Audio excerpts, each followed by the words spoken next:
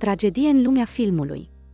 După ce o cunoscută actriță a murit este vorba de Suzanne Sheffert. Sheffert a fost o actriță talentată și versatilă, care a avut o carieră de succes în teatru, film și televiziune. A fost, de asemenea, o profesoară de actorie respectată și a predat la mai multe conservatorii din lume. Suzanne Sheffert s-a născut la 24 februarie 1936 în New York City și a murit la vârsta de 87 de ani. Sheffert a început să studieze actoria la vârsta de 16 ani, la școala de teatru din cartier. După absolvire, a lucrat în teatru, atât în New York, cât și în țară.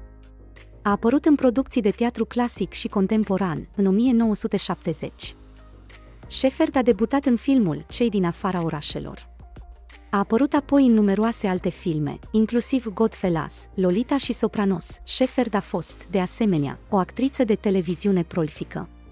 A apărut în numeroase seriale de televiziune, inclusiv La Order, Practice și Sopranos în 1990. Sheffert a înființat propria companie de teatru, Suzanne Sheffert Company, Compania a produs numeroase producții de teatru, inclusiv piesele lui Shakespeare, Ibsen, Chekhov și Tennessee Williams.